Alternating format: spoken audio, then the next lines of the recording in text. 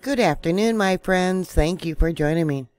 Well, there in San Leandro, there was a magnitude 3.5 earthquakes at 1,516 people reported to USGS. This was along the Hayward Fault Zone. It was reportedly felt as far as Lake Tahoe.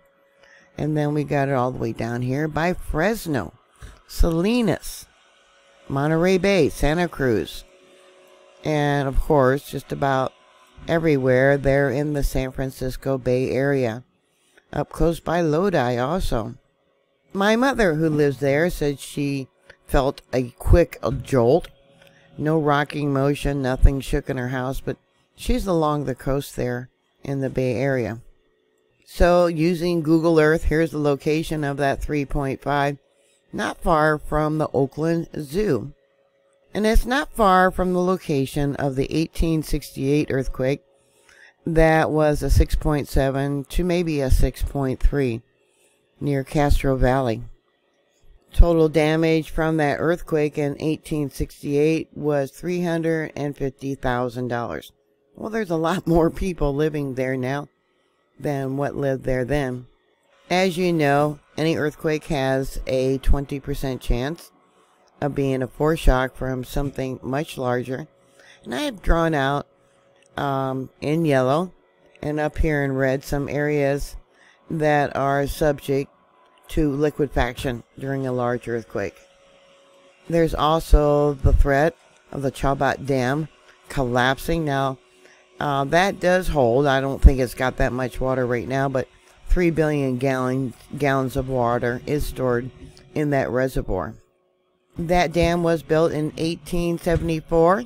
The dam was, at its time, one of the largest massive earthen embankment dams, um, about 135 feet high, built in the world. It says here the potential hazard for the dam poses goes beyond the fact that it's a century and a half old and that it's perched above a densely populated area. And the structure was built within a few hundred yards of the Hayward Fault. This area drawn out in yellow is the area that would be flooded out if it was at capacity and the dam, earthen dam, broke.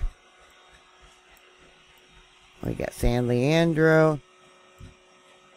Yeah, it's a fairly large area. Uh, part of the airport, it looks like. And we'll go up along the bay, San Leandro Bay.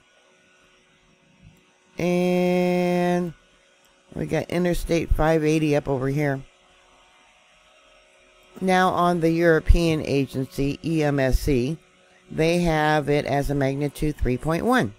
This person here says there was two short, mild jolts. Well, that's what my mother said she felt. The second one evidently was stronger than the first. Uh, this one said, felt it roll on by, definitely got my attention. They were in the Oakland Hills Bay Area.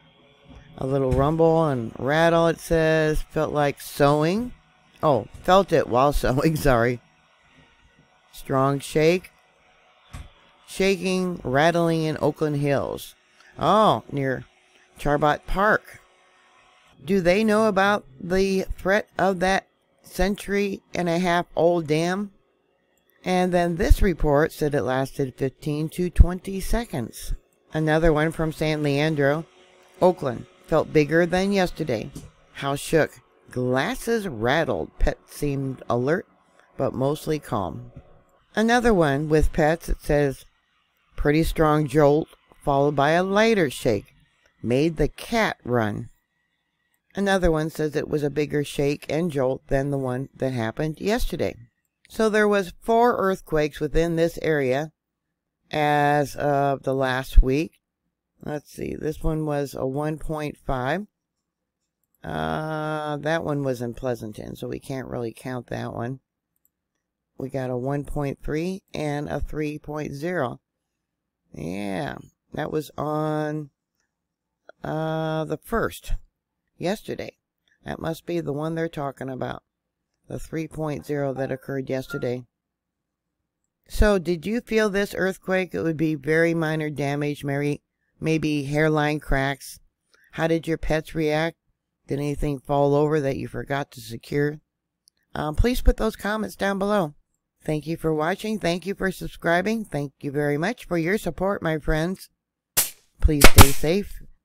And I'll talk to you later in my next report. God bless y'all. Bye.